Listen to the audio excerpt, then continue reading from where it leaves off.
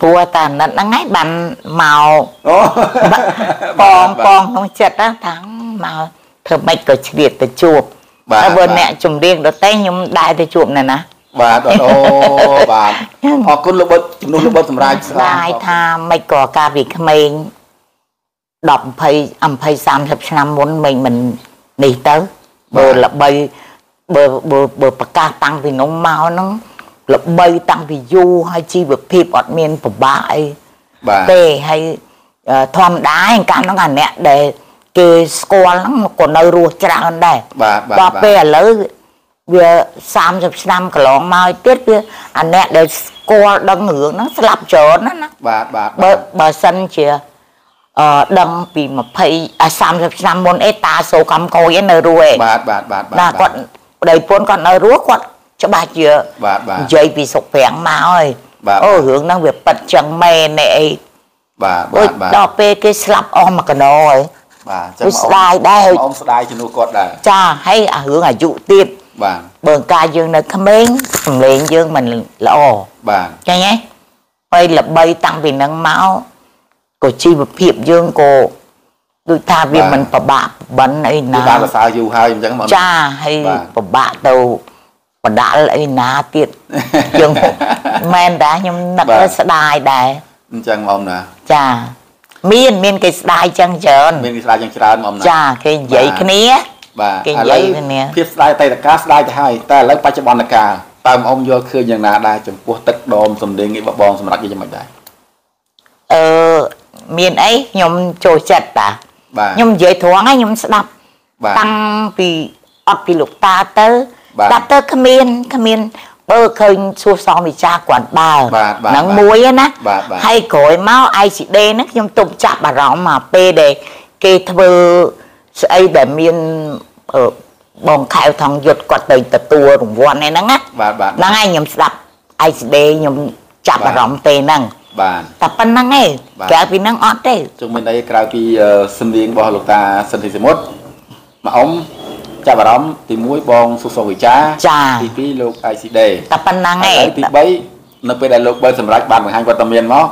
មកឆ្លាញ់គ្រប់ត្រដែរគ្រប់ត្រមែនតែនមិនគ្រប់ត្រដែរដូចស្ដាប់ទៅដូចដូចថាបាទព្រោះស៊ីដាច់ហ្មងអញ្ចឹងបងដូច10កាលមុនស្ដាប់ ICD ថាព្រោះដល់ពេលសម្រាប់ចេញមក ICD ស្ដាប់ទៅដូចរឿងញ័រវិញរឿងសលេងមិននឹងណាបាទមិននឹងបើសម្រាប់សម្លេងនឹងហ្មងបាទពុកម៉ែបងប្អូនបាទនេះគឺជាអារម្មណ៍ពិតរបស់ចា៎អ៊ំដែលគាត់ជាគេហៅគេហៅថាអ្នកគ្រប់គ្រងមួយរូបគាត់បានស្ដាប់ទៅជាការយល់ឃើញរបស់គាត់បាទចា៎បាទនេះគឺជាការយល់ឃើញរបស់អ៊ំដោយឡែកយើងមិនយើងមិនបានវិតម្លៃថាហឹម លោកបើសម្រាប់ព្រោះជានេះព្រោះជានោះមែនទេនេះគាត់តែជាអារម្មណ៍ចូលចិត្តរបស់អ៊ំផ្ទាល់ម្នាក់ឯងចា៎ណាហើយបាទអឺបត់ខ្លះស្តៀងបាទស្ដាប់ទៅស្តៀងហ្មងឥឡូវមើលបត់ដែលមកអ៊ំចូលចិត្តជាងគេបត់អីគេមកចាំអត់ដូចបត់ណាក៏ព្រោះដែរជាភាសាបត់អាអាអាចពុកបោះសានវ៉ាអាអញ្ចឹងប្រហែលបត់ក្រោយ5បត់ដែរបោះសានវ៉ាហ្នឹងដូចដូចច្រើនដូចច្រើនដាក់ទៅដូចណាបាទបាទបាទចាបាទ សលេងអូដូចហ្មងបាទហើយថ្ងៃនេះម្អមបានមកជួបផ្ទាល់នឹកឃើញថាម្អមស្កាត់ពីអូស្ត្រាលីមកលេងស្រុកខ្មែរឥឡូវ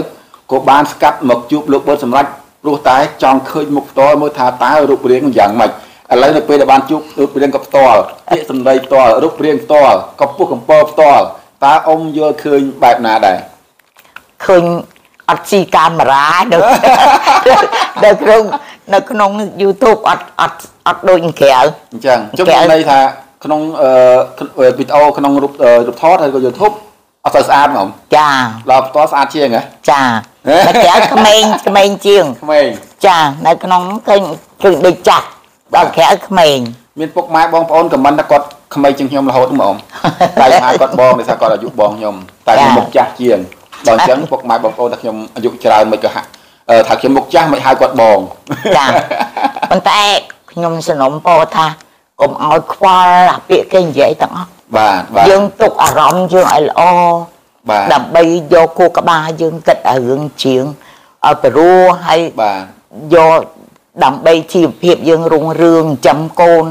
ឲ្យរៀនឲ្យបានខ្ពង់ខ្ពស់ខ្ញុំសុំតែប៉ុណ្្នឹងទៅបាទបាទ នេះគឺជាការក្តីស្រឡាញ់ការព្រួយបារម្ភសម្រាប់មកអ៊ំដែរជាបុគ្គលស្រឡាញ់គ្រប់ត្រចូលចិត្តបងសម្រាប់1 សូមគោរពសម្ដេចទ្រង់អាដាមលោកជំទាវលោកលោកស្រីនាងកញ្ញាលោកតាលោកយាយលោកពុកអ្នកម្ដាយអ៊ំមីមីនិងទស្សនិកជនទាំងក្នុងនិងក្រៅប្រទេសទាំងអស់ជាទីគោរពស្រឡាញ់ក្រោយពេលដែលយើងខ្ញុំទាំងពីរនាក់មានខ្ញុំបាទជិតកាមេរ៉ារួមនឹងលោកតាន់ចន្ទថាបានធ្វើកិច្ចសម្ភាសមួយជាមួយនឹងម៉ាអ៊ំសុខុមលីមហើយនឹងលោកវត្តសម្រាប់ដែលម៉ាអ៊ំសុខុមលីមបានអញ្ជើញមកលេងលោកវត្តសម្រាប់ដល់ផ្ទះលោកវត្តសម្រាប់តែម្ដងនៅបរិយា HM Lucky Home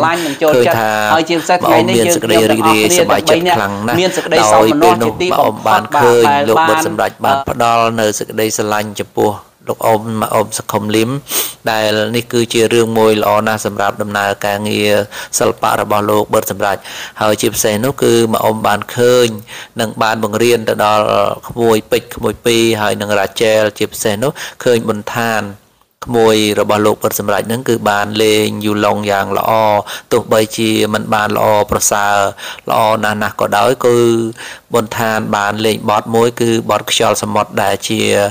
បទនេះគឺជាបទមួយដែលក្មួយពេជ្រ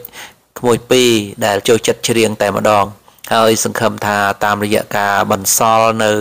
ស្នាមអនុស្សាវរីយ៍ចំពោះ គ្រួសារលោកបិទសម្រាប់ជាពិសេសចំពោះលោកបិទសម្រាប់តែម្ដង គឺបានបន្សល់នៅ អនុស្សាវរីយ៍យ៉ាងល្អចំពោះគ្រួសារចំពោះសេចក្តីការស្រឡាញ់រាប់អាននិងជាពិសេសនោះគឺស្នាមញញឹមនេះហើយដែលធ្វើឲ្យអ្នកគ្រប់គ្រងរបស់លោកបិទសម្រាប់បានមានមនោសញ្ចេតនាដ៏ជ្រាលជ្រៅចំពោះការស្រឡាញ់និងចូលចិត្ត តាមរយៈបទចម្រៀងក្តីតាមរយៈការផ្ដល់នៅសេចក្តីសង្ឃឹមទៅលើការងារសិល្បៈក្តីចំពោះលោកបិទសម្រាប់នេះគឺជារឿងមួយល្អណាស់សម្រាប់ដែលធ្វើឲ្យទស្សនិកជនទាំងអស់បាទតែងតែគ្រប់គ្រងតែងតែចូលចិត្តនិងតែងតែផ្ដល់កម្លាំងចិត្តដល់លោកបិទសម្រាប់ក្នុងការដឹកនាំគាំពៀគ្រួសារទៅដល់កូនទៅដល់លោកយាយធីមរីទៅដល់គ្រួសារ ទាំងមូលដែលបានផ្ដល់ភាពកក់ក្ដៅពីលោកបិទសម្រាប់ហើយជាមលុបជាសសរទ្រូងយ៉ាងសំខាន់ណាស់ចំពោះគ្រួសារលោកបិទសម្រាប់បាទក្រោយពេលដែលបានធ្វើកិច្ចសម្ភាសជាមួយនឹងម៉ាអ៊ុំសខុមលឹមជាមួយនឹងលោកបឺតសម្រាប់រួចរាល់ម៉ាអ៊ុំសខុមលឹមក៏មានបំណងចង់ទៅលេងសួនកំសាន្តនៅក្នុងបរិវេណនៃសួនកំសាន្តធម្មជាតិ នៅក្នុងបរិយា HM Lucky Home តែម្ដងដែលមានមនុស្សម្នាមានភ្ញៀវចូលលេងកម្សាន្តយ៉ាងច្រើនជាពិសេសគឺថ្ងៃនេះគឺជាថ្ងៃអាទិត្យផងនោះគឺមានមនុស្សម្នាជាច្រើនបានដើរកម្សាន្តនៅក្នុងបរិយានេះតែម្ដងដែលនៅក្នុងបរិយាមានផ្លាកសញ្ញានិងផ្លាកសម្គាល់មានកន្លែងសួនសត្វនិងកន្លែងសម្រាប់ភ្ញៀវដើរកម្សាន្តទៅមកទៅមកហាក់ដូចជាបានបញ្ជាក់នៅថាទីនេះគឺជាសួនកំសាន្តសម្រាប់ខ្សែចក្ខុនិង ជាពិសេសនោះគឺថានៅសួនកំសាន្តនេះមានដើមឈើត្រឈឹងត្រឈៃចោលមលុបយ៉ាងត្រជាក់ស្រេង ហើយនៅឯជុំវិញបរិវេណនៃសួនកំសាន្តនេះគឺមានអាងហែលទឹកបាទហើយនឹងកន្លែងអុំទូកដែលមានបន្សល់នៅ រូបសំណាក់ដែលគេសង់ជារូបផ្សោតធំធំ ហើយនឹងមានមលុបរស័យបាទមលុបរស័យនឹងគឺថាចោលមលុបយ៉ាងត្រឈឹងត្រឈៃហើយមនុស្សម្នាចូលចិត្តមកកំសាន្តនៅសួនកំសាន្តធម្មជាតិដែលជាទឹកដីរបស់បរិយ HM Lucky Home នេះខ្លាំងណាស់ហើយមនុស្សម្នាទាំងឡាយគឺថាឲ្យតែបានមកគឺថាជីកតួងលេងទៅអ្នកខ្លះក៏មានបាទ កាន់សម្ភារៈមានមហូបអាហារឬក៏សម្ភារៈផ្សេងផ្សេងជាអាហារសម្រន់ក្តីហ្នឹងគឺថាមកក្រាលកន្ទេលទៅតាមចំណង់ចំណូលចិត្តដែលម្ចាស់បរិយលោកអុកញ៉ានិងលោកជំទាវលោកមិន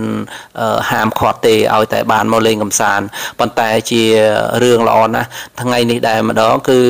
យើងខ្ញុំទាំងអស់គ្នាបាទខ្ញុំបាទជាតិកាមេរ៉ាបាននាំកូនរបស់លោកបុតសម្រាប់ហ្នឹងមកលេងនៅសួនកំសាន្តនេះដែរដែលមានអូនពេជ្រអូនពីរវិរៈបុតវិរៈស័កហើយនឹងរ៉ាជែលហើយនឹងប៊ុនឋាន បានមកលេងនៅហែលទឹកនៅសួនកំសាន្តបាទហើយទីនេះមានមនុស្សម្នាជាច្រើនណាស់បាទជាពិសេសក្មួយក្មួយបងប្អូនកុមារឬក៏កូនរបស់អ្នកភូមិនៅជិតជិតនេះឬក៏អ្នកមកពីឆ្ងាយហ្នឹងគឺថាគាត់មកលេងកំសាន្តតែម្ដងបាទទីនេះសប្បាយណាស់រីករាយណាស់ហើយមានចោលមរុបត្រឈឹងត្រឆៃហើយជាពិសេសនៅរដូវនេះគឺជារដូវធ្លាក់ខ្យល់ទឹកសោតគឺថាមានអាកាសធាតុត្រជាក់ស្រេងតែម្ដងបាទ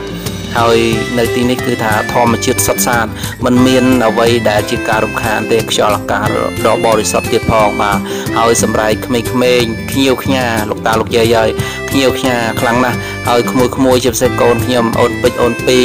រ៉ាជែលគឺថាគេម្នាក់ម្នាក់គេថាគេហេវហើយគេឃ្លានហើយ បាទគេឃ្លានខ្លាំងណាស់គេឃ្លានបាយបាទហើយពួកគេសប្បាយរីករាយនឹងបរិយាកាសធម្មជាតិផងនិងទីកន្លែងនេះផងបាទសួនកំសាន្តទាំងអស់គឺស្រស់ស្រាយណាស់បន្ទាប់ពីគេមុជទឹករួចហើយហ្នឹងគេក៏បានមកសម្អាតខ្លួននៅកន្លែងសម្អាតខ្លួននេះគឺថាមានរ៉ូប៊ីណេទឹកបើកមកយ៉ាងល្អប្រណិតយ៉ាងល្អត្រចះត្រចង់ខ្លៃរែង បាទសូមអភ័យទោសនិយាយចំមាត់បាទគឺថាពួកគាត់មានរ៉ាជែលជាពិសេសក្មួយរ៉ាជែលធំហើយឥឡូវនេះគេមានភាពឆ្លាតវៃខ្លាំងណាស់ហើយជាពិសេសនោះគឺថាមនុស្សម្នាទាំងឡាយនឹងគឺសប្បាយរីករាយណាស់លោកម្ចាស់ថ្លៃហើយលោកតាលោកយាយជាទីគោរពស្រឡាញ់ហើយបើសិនជាបានជើញមកលេងនៅបរិយ Lucky HM Lucky Home នេះគឺថាកុំភ្លេចមកលេងសួនកំសាន្តធម្មជាតិសោះមានតាំងលំអផ្កាភ្ញីមានកន្លែងលក់ដូរបាទជាពិសេសកន្លែងលក់ដូរមានប្រហិតទៅ មាននំប៉ាវទៅ មានសាច់អាំងទៅបាទមានទឹកអំពៅទៅមានកាហ្វេទៅមានទឹកសេរ៉ូទៅមានទឹកកកឈូស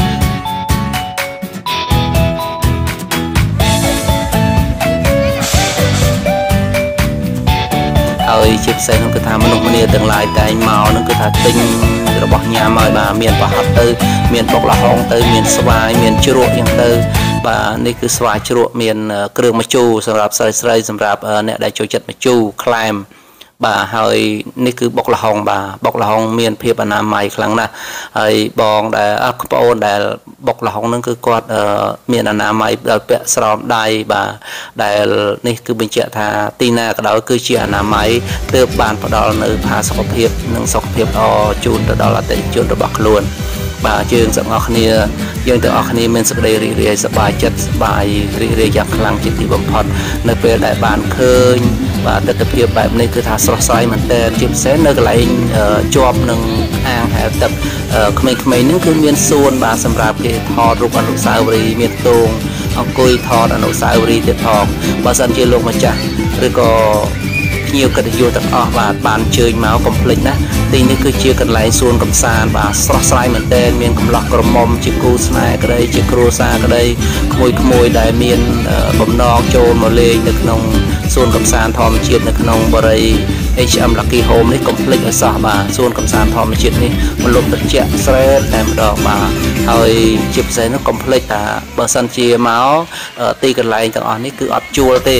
គឺជួលតែកន្លែងលេងដូចជាកន្លែងក្មេងៗហ្នឹងគឺតម្លៃ10000រៀលសម្រាប់ចូលលេងមកឆ្អែតពីព្រឹកទល់ល្ងាចក៏បានដែរហើយមុខម្ហូបទាំងឡាយអាចថាទិញកំងទៅទៅតាមតម្លៃដែលបានរៀបចំរបស់ខាងបរិយហើយសួនកំសាន្តមានតោងមានអីមានមនុស្សម្នាក្មេងលេងក្មេងកំសាន្តហើយ ជាពិសេសនោះគឺថាមានពាក្យស្លោកល្អៗណាស់បាទគឺថារួមគ្នាគិតគូរអំពីបរិស្ថានធម្មជាតិឲ្យបានល្អ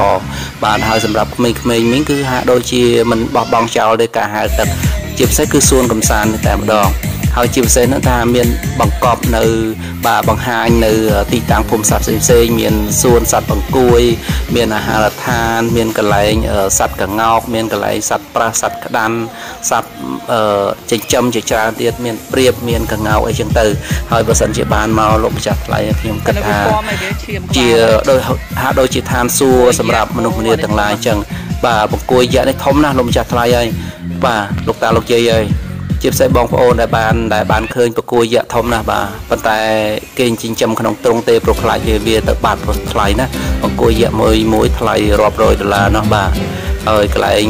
លក់អាហារទៀតសោតមាននំបញ្ចុកមានយ៉ាហន បាទមានបាញ់សុងអីហ្នឹងគឺថាអាចបំរើជូនទៅតាមលោកអ្នកដែលចូលចិត្តបាទមានអីក៏មានដែរបាទកាទៀវកាហ្វេបាទបាយស្រូបបាយមាន់ផ្លូវមាន់នេះគឺមានលក់បាទរាល់រៀងរាល់សៅរ៍អាទិត្យហើយជាពិសេសនោះគឺថានៅក្នុងបរិយាមានអនាម័យណាស់បាទមានអនាម័យជាពិសេសស្លឹកឈើមិនរុះរោយនៅលើដងផ្លូវចាក់បេតុងនេះទេ គឺមានអ្នកបម្រើអ្នករៀបចំនឹងគឺថាកម្មករសួននឹងគឺថាគាត់យកចិត្តទុកដាក់មែនតើ បាទហើយចំណែកនៅឯភាគីម្ខាងនេះគឺមានសត្វកងោកបាទគេចិញ្ចឹមសត្វកងោកដែលលោកម្ចាស់បរិយហ្នឹងលោកអញ្ញាម្ចាស់បរិយហ្នឹងលោកចិញ្ចឹមដើម្បីជាលំអទៅដល់អ្នកទេសចរដែលបានជើញមកលេងបាទហើយម្នាក់ម្នាក់ឲ្យតែបានមកហ្នឹងអ្នកខ្លះលួចថតទុកអនុស្សាវរីយ៍បាទលួចថតទុកដើម្បីជាការបង្ហាញទៅដល់អ្នកដែលដែលធ្លាប់មកបង្ហាញជូនថាទីនេះសប្បាយណាស់រីករាយណាស់ ជាពិសេសហ្នឹងគឺថាតាមដងផ្លូវហ្នឹងមានដើមថ្នោតមានដើមដូងមានដើមជាពិសេសគឺដើមដើមកញ្ញូងដើមបេងបាទហើយមានកន្លែងអ៊ំទូកអ៊ំកំសានអញ្ចឹងណាហើយមកអ៊ំទៀតសោតបាទមកអ៊ំសុខុមលីមបានដើរកំសានជាមួយខ្ញុំបាទជាតិកាមេរ៉ាគឺគាត់សប្បាយចិត្តរីករាយណាស់ថាទីនេះគឺជាកន្លែងដែលស្រស់ស្រាយមែនតែន បាទហើយនេះគឺជាសត្វប្រាសបាទសត្វប្រាសដែលជាប់នឹងកន្លែងសួនកំសាន្តជាប់នឹងកន្លែងមុជទឹកនៅម្ដងមានទ្រង់បាទចំដាក់ទ្រង់ដាក់អីចឹងណាបាទស្រស់ស្រាយណាស់ហើយមើលចោះលោកណាលោកតាលោកយាយហើយគឺថាហាក់ដូចជាបានបង្ហាញនៅសោភ័ណភាពមួយដ៏ស្រស់ត្រកាលសម្រាប់មនុស្សម្នាដែលចូលចិត្តកុំភ្លេចណាពេលដែលបានមកកុំភ្លេចគឺថាកន្លែងសួនកំសាន្តនៅក្នុងបរិយានេះមនុស្សម្នាមកច្រើនណាស់លោកតាលោកយាយហើយបាទកុំភ្លេចបាទមានកំឡោះក្រមុំមាន បាទជាគ្រួសារក្តីជាគូស្នេហ៍ភក្តីក្តីកុំភ្លេចបាទសួនកំសាន្តគឺស្រស់ស្រាយមែនទែនសង្ឃឹមថាលោកតាលោកយាយនឹងជួបគ្នានៅវីដេអូវគ្គក្រោយបង្ហាញពីសកម្មភាពរបស់លោកវត្តសម្រាប់របស់អ្នកសិល្បៈក្តីរបស់អ្នកដែលមានបំណងខ្លាយខ្លួនទៅជាអ្នកសិល្បៈក្តីប្រវត្តិសិល្បករក្តីប្រវត្តិអ្នកនិពន្ធក្តីប្រវត្តិកវីក្តីនឹងគឺថាខ្ញុំបាទជាកាមេរ៉ានឹងបង្ហាញជូនទៅដល់លោកតាលោកយាយឲ្យបានដឹងឲ្យបានយល់ហើយជាពិសេសក្នុងគណៈនេះខ្ញុំបាទជាកាមេរ៉ាក៏សូមថ្លែងអំណរគុណយ៉ាងជ្រាលជ្រៅចំពោះលោកតាលោកយាយលោកឪពុកអ្នកម្ដាយអ៊ំមីមីទាំងអស់យុវជនទាំងអស់ក្មួយក្មួយទាំងអស់ដែលបានតែងតែគ្រប់គ្រងដល់ដំណើរការងាររបស់ខ្ញុំបាទជាកាមេរ៉ាក៏សូមគោរពជូនពរដល់លោកតាលោកយាយទាំងអស់ឲ្យមានសេចក្តីសុខសេចក្តីចម្រើនសូមគោរពដល់ដួងវិញ្ញាណក្ខន្ធអស់លោកលោកស្រីនៅនាងកញ្ញាកវីនិពន្ធតារាចម្រៀងតារាសម្ដែង និងវីរៈសិល្បករដែលបានបាត់បង់ជីវិតទាំងអស់សូមបានសោយសុខនៅក្នុងស្ថានសួគ៌ក្នុងភ្នោវិមានកៅមាសកំបីឃ្លៀងឃ្លាតឡើយ